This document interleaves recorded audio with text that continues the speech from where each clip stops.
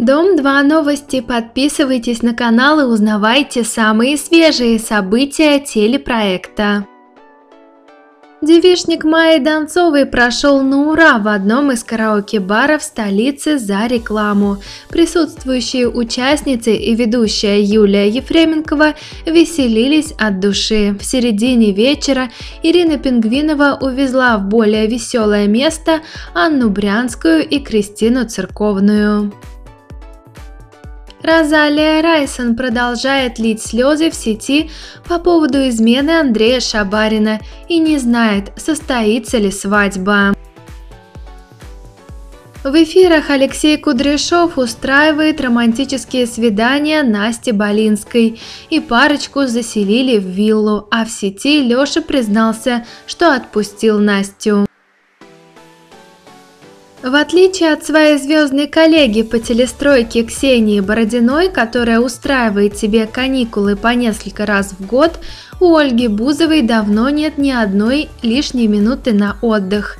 Праздному времяпрепровождению на том же пляже Ольга предпочитает напряженную работу в студии звукозаписи, а единственной отдушиной поющей ведущей, по всей видимости, давно стал алкоголь. Вот и записи новой песни Бузова, которая сейчас находится в родном Питере, отметила с особым размахом. Судя по сторе звезды, вернувшись на малую родину, весь вечер она налегала на горячительные напитки а ее утро началось ближе к обеду из тяжелого похмелья.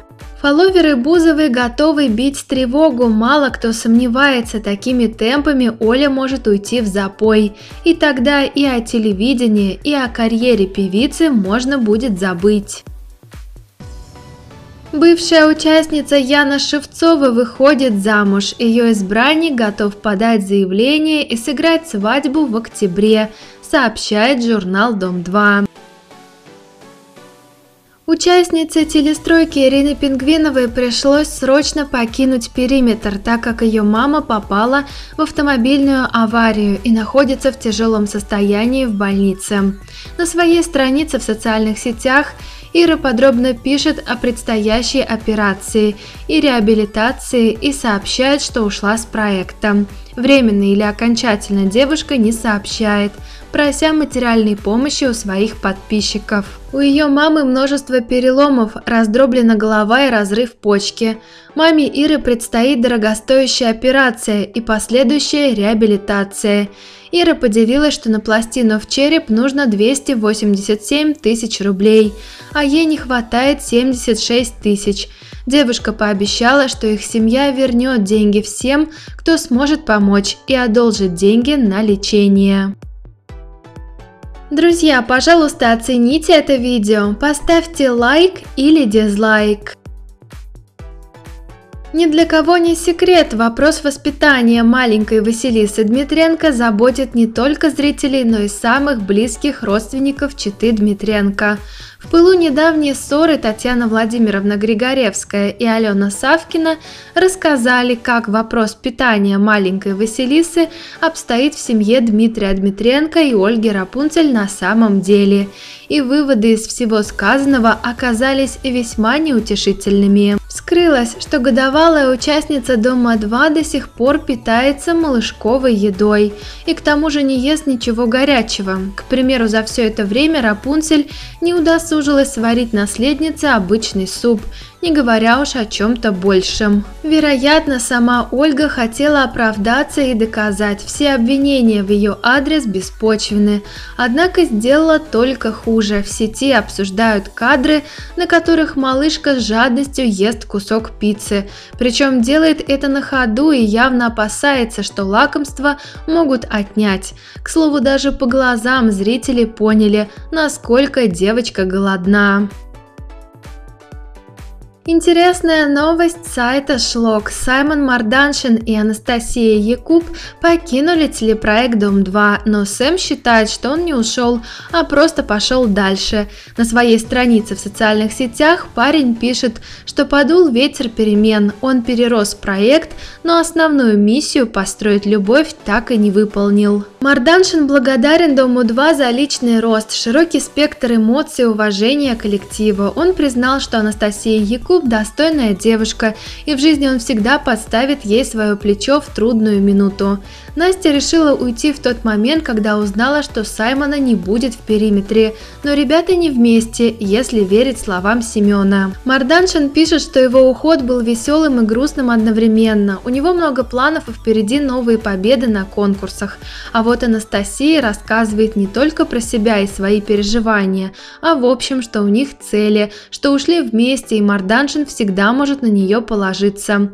Настя написала своим поклонникам, что до сих пор любит Саймона, но любви недостаточно для счастья, они слишком разные. Казалось бы, безобидная домовская вечеринка закончилась для Алены Савкиной скандалом с Ильей Ебаровым. Парочка не просто разругалась в пух и прах, но и успела подраться. А вот если верить Ольге Рапунцель, ставшей очевидцем случившегося, в пылу ссоры Ебаров в прямом смысле этого слова едва не придушил мать своего ребенка. Следами побоев на теле Савкиной теперь могут любоваться и зрители. В недавнем дневном эфире Алена появилась при камерах в одном коротеньком халатике и засветила ссадины и синяки на ногах. Впрочем, не обходится и без домыслов и даже откровенного стёба по этому поводу. Зрители не уверены, что ссадины и гематомы – результат драки. Не исключено, Савкина набила синяки еще когда развлекалась пьяной, а возможно именно на коленях за балдахином молодая мамочка вымаливала прощение у сожителя. Зрители давно обратили внимание на вечный пессимизм, озлобленность и даже агрессию Юлии Щегловой по отношению к окружающим. К слову, ссориться девушка умудряется не только со своими избранниками. К примеру, от недавнего настроя Юли в свое время неоднократно страдал Евгений Ромашов, а теперь Игорь Русанов. Достается от хрупкой участницы Дома-2 даже тем, с кем она якобы близко дружит, пока непонятно, что не поделили Юлия и Анастасия Стецевят. Девушки, к счастью, пока только словесно сцепились в баре. Впрочем, конфликт лишь чудом не перерос в драку. По крайней мере, Анастасия готова была постоять за себя. А вот первую руку на подругу подняла все же Щеглова, и именно это вывело Настю из себя. Сетевят не стала скрывать в будущем, терпеть подобного к себе отношения она не будет. Правда, и бить коллегу по шоу Анастасия, как оказалось, опасается, понимая, что она ниже и слабее ее физически. За месяц до свадьбы отношения Андрея Шабарина и Розалии Райсон оказались разрушены. И все из-за случайной измены Андрея. Напившись на вечеринке, Андрей переспал с новенькой Алиной Никоновой. Впрочем, на утро не смог вспомнить даже лица случайной возлюбленной. А вот Розе пришлось собственными глазами увидеть шокирующие кадры, на которых Шабарин кувыркается в постели с другой. И стерпеть подобного Розалия, по ее собственному признанию, не смогла. Узнав, что натворил возлюбленный, Райсон буквально слетела с катушек.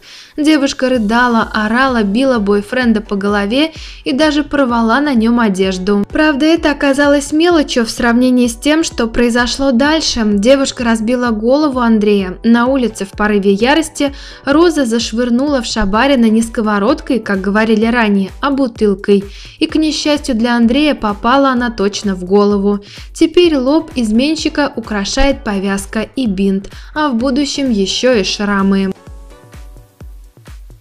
Егор Халявин, теперь больше известный как русский Кен, заговорил о своем возвращении на проект. После продолжительного молчания Егор наконец вышел на связь, и все для того, чтобы порадовать фолловеров хорошей новостью. Несколько лет понадобилось Егору на то, чтобы добиться внешности своей мечты. С помощью пластической операции Халявин похудел, изменил разрез глаз, форму лица и даже пропорции тела.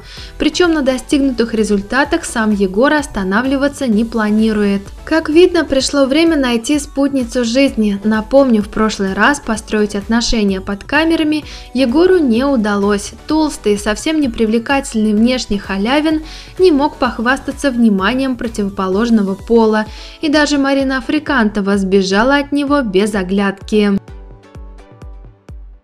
Идеальная мать и бабушка Татьяна Владимировна Григоревская на деле оказалась не такой уж идеальной. Накануне, оставив маленького Богдана на попечении Ильи Ебарова, Татьяна Владимировна вместе с младшей дочерью Аленой Савкиной отправилась на домовскую вечеринку. И все бы ничего, но самая возрастная участница шоу вела себя настолько вызывающе, что шокировала даже видавших виды зрителей. Уже ни для кого не секрет, пьяная Григоревская старшая которая лихо отплясывала прямо на столе, причем дала форы своим молодым коллегам по шоу, а в чем-то даже превзошла другую любительницу эпатажа Татьяну Владимировну Африкантову. Впрочем, одними танцами Татьяна Владимировна не ограничилась. Под утро в одной футболке и трусиках женщина устроила заплыв в бассейне. А вот те, кто всегда недолюбливал мать сестер Рапунцель, не удивлены. По мнению хейтеров звездного семейства, Татьяна Владимировна никогда не отличалась большим умом и лишний раз доказала это своими дикими танцами. Это были все новости на сегодня. Если вам понравилось это видео, ставьте лайк и подписывайтесь на канал. Следите за новостями и не пропустите новое видео, которое выйдет совсем скоро.